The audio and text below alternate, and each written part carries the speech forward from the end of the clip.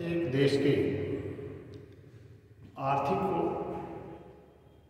विकास में पूंजी बाज़ार का महत्वपूर्ण स्थान होता है।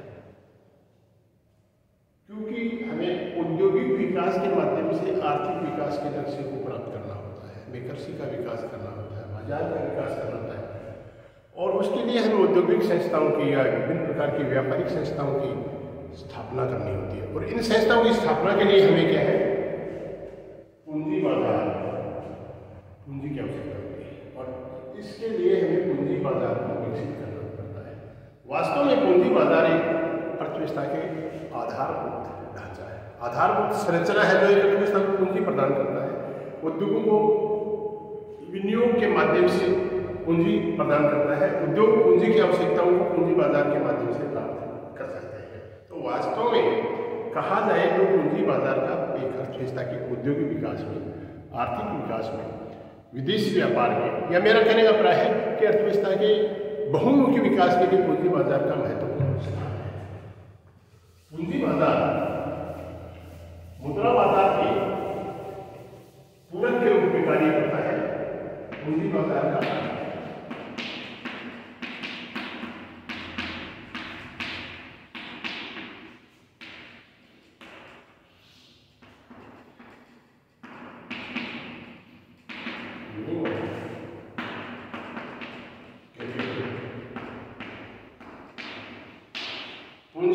बाज़ार बाज़ार है, जहाँ पर दीर्घकालीन प्रतिभूतियों का क्रय विक्रय किया जाता है। दीर्घकालीन प्रतिभूतियों का क्रय विक्रय किया जाता है, यानी वह बाज़ार जहाँ पर दीर्घकालीन प्रतिभूतियों को खरीदा और बेचा जाता है, उस बाज़ार को पूंजी बाज़ार के नाम से संबोधित किया जाता है। वास्तव में पूंजी बाज़ार में अल्पकालीन लेन देन मौद्रिक बाज़ार में होते हैं। पूंजी बाज़ार वह स्थान है जहाँ पर एक व्यवसाय की दीर्घकालीन वित्तीय आवश्यकताओं को पूरा करने के स्रोत उपलब्ध होते हैं। जहाँ पर दीर्घकालीन प्रतिभूतियों को खरीदा और बेचा जाता है, यहाँ प्रतिभूतियों में हम पूंजी है ऋण पूंजी है, इनको शामिल करते हैं। तो वास्तव में पूंजी बाज़ार एक महत्वपूर्ण बाज़ार है, जहाँ पर विभिन्न प्रकार की दीर्घकालीन प्रतिभूतियों का क्या है, खरीदा और बेचा जाता है। अब आता है, पूंजी बाज़ार की संरचना या संगठन।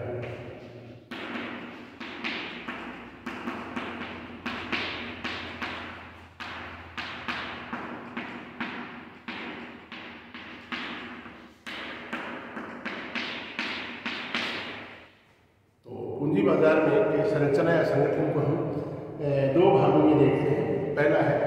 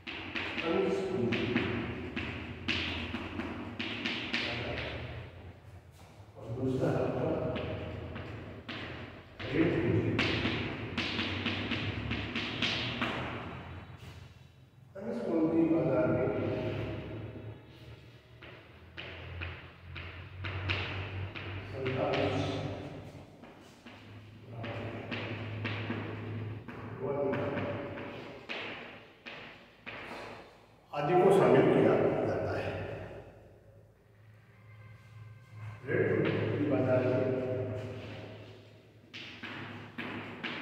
सरकारी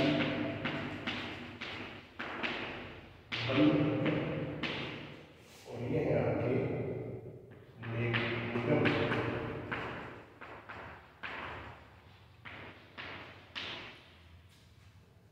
असंगठित मुद्रा बाज़ार में देशी बैंक का अवसर होगा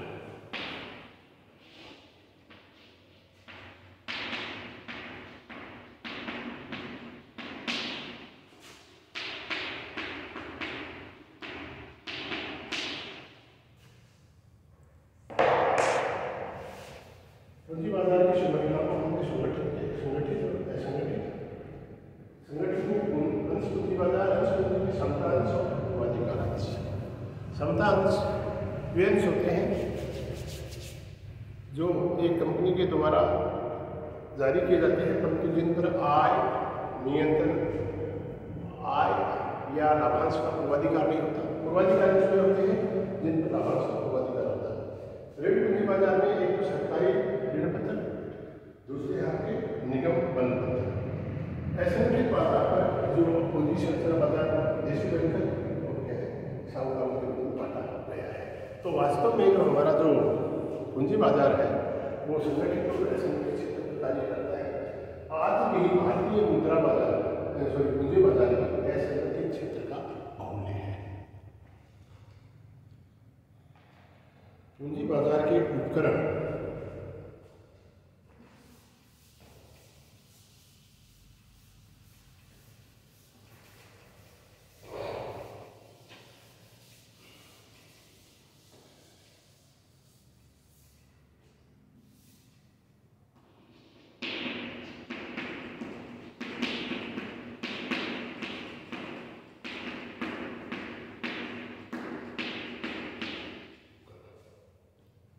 या अभिनव प्रकृतियाँ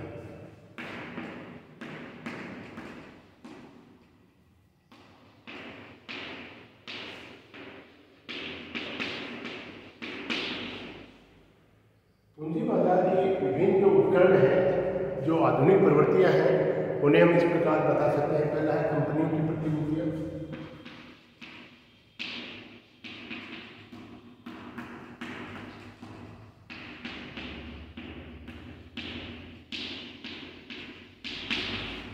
पूंजी बाज़ार में जो कंपनियाँ हैं, उनके प्रतिभूतियाँ अर्थात अंश, ऋण पत्र, अन्य प्रपत्रों का क्रय विक्रय होता है। अंशों में हम समतांश और पूर्वाधिकार शामिल करते हैं, ऋण पत्रों में आपकी क्या है? सौदे और औसत सौदे ऋण पत्रों को शामिल किया जाता है। दूसरा है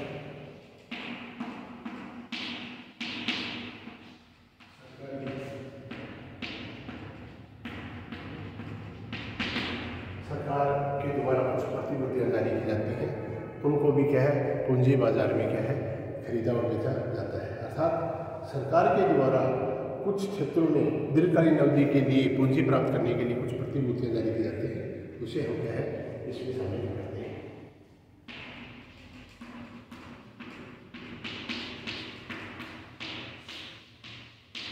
वर्तमान समय में जो कंज्यूमर लोन है वो भी क्या है वास्तव में पूंजी बाज़ार का है। क्योंकि विभिन्न जो औद्योगिक संस्थाएँ हैं, जो व्यापारिक संस्थाएँ हैं, उनके लिए भी एक महत्वपूर्ण स्रोत है। व्यवसायिक ऋण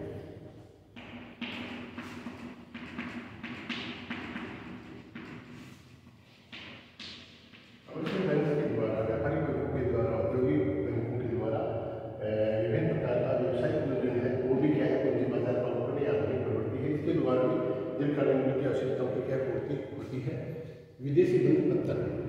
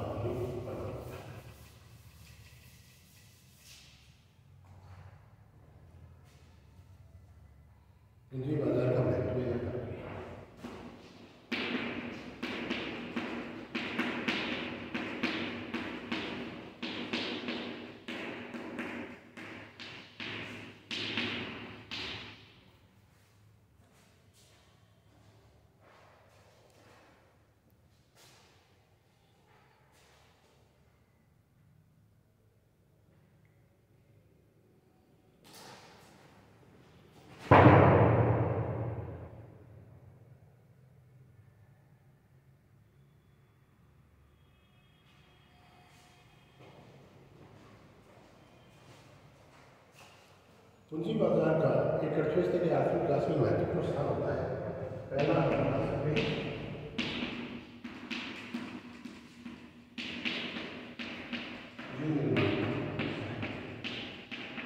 देखा गया है कि पूंजी बाज़ार पूंजीगत आवश्यकताओं को पूर्ति करता है।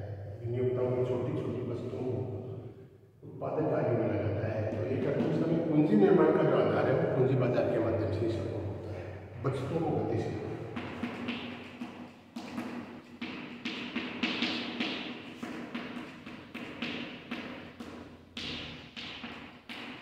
तो उन छोटी छोटी वस्तुएँ बाज़ार में आती हैं।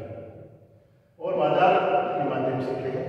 उत्पादक कार्य में लगाई जाती है। तो वस्तुओं को गतिशीलता प्रदान करने का कार्य भी पूंजी बाज़ार का है। पूंजी का समुचित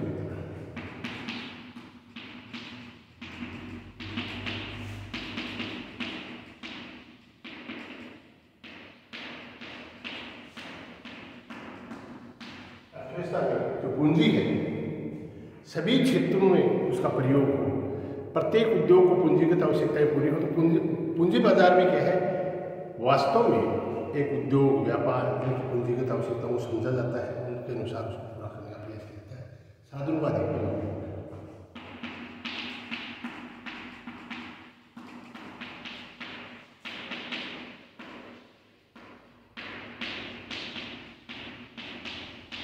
पूंजी बाज़ार के माध्यम से उत्पादन के जो साधन है उनका ज़्यादा से ज़्यादा प्रयोग किया जाता है यानी पूंजीगत आवश्यकताएँ पूरी होती हैं तो जो भी प्राकृतिक संसाधन है, जो भी कच्चा माल है, मशीन है, उसकी आवश्यकता को आसानी से पूरा किया जा सकता है। लाभदायक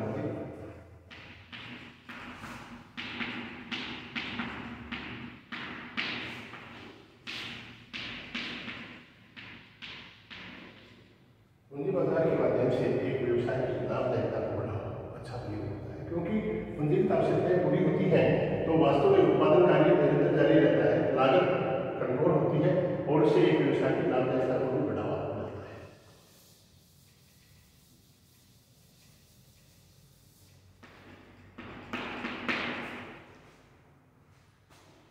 सरकार को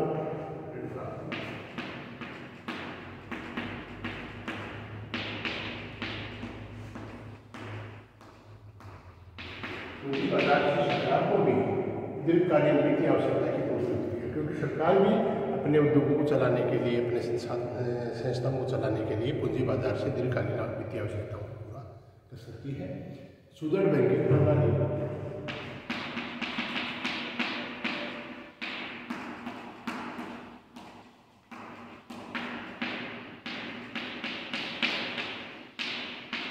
यानी बैंकिंग व्यवस्था का विस्तार भी पूंजी बाज़ार के माध्यम से संभव होता है सुदृढ़ता की उससे विभिन्न प्रकार की वित्तीय आवश्यकताओं को पूरा किया जा सकता है। आर्थिक नीति की सफलता।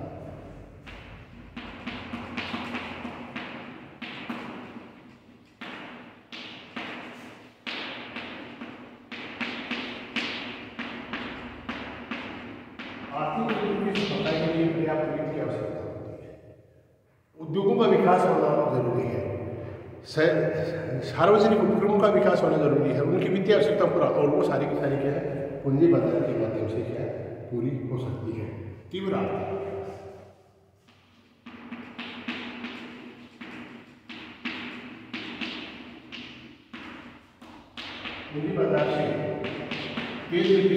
विकास का यानी ज़्यादा से ज़्यादा देश उद्योगों का विकास होता है प्रेमी सुविधा का विस्तार होता है, सार्वजनिक क्षेत्र का विस्तार है तो लोगों को रोज़गार मिलता है। पंचवर्षीय योजनाओं की